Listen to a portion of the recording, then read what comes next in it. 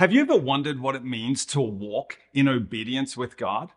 Hey, my name's Dave from the YouTube Church, and today's verse of the day comes from 2 John, verse 6, where the Apostle John writes, And this is love, that we walk in obedience to his commands. As you have heard from the beginning, his command is that you walk in love.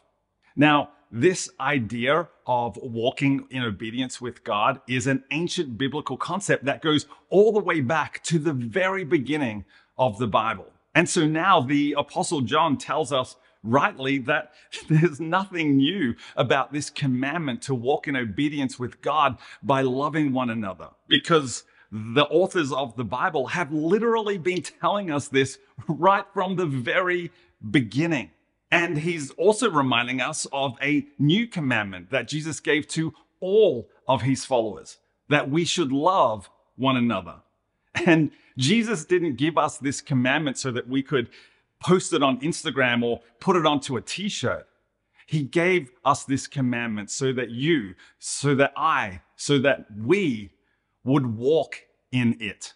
And to walk is an action. We have to choose to walk in obedience. We have to decide, just like all of the heroes of the Bible who came before us, that walking in obedience with God is in our best interest.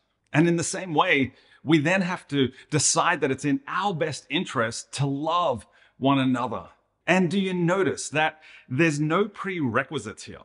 We're not told that we just have to love the people who are like us or who like us. No, to walk in love means that we also love the one another's who are nothing like us and who may not even like us. So, who's with me today? Who's ready to walk in obedience with God?